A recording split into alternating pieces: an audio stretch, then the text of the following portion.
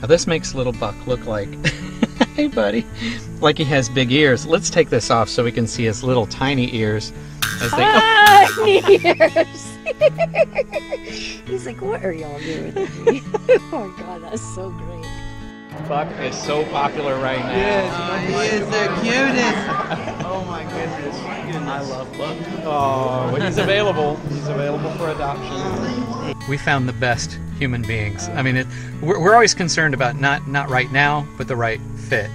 And they just This, he'll be a shop dog. Yeah. Mom has a sling. He's gonna go everywhere. He's gonna be held all the time by either little- mommy or daddy. Are you worn out, buddy? And he didn't want to get out of their arms. no, Did you notice? he didn't. He didn't. This dog was one of 74 dogs That's in a the- hoarding case. That is how many have been surrendered. There are still more There's in the house.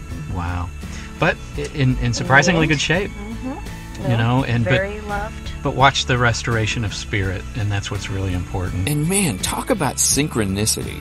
Little Buck is going to be going to his forever home in San Antonio. We're transporting him the same day we're transporting Arrow to go to his forever home in Canada.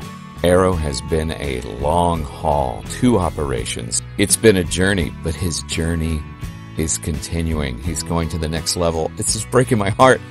Arrow's not just going to have a terrific forever home, he's also getting a new name. They want to call him Scooby, so I'm getting him used to his name. And he answers better to it than Arrow.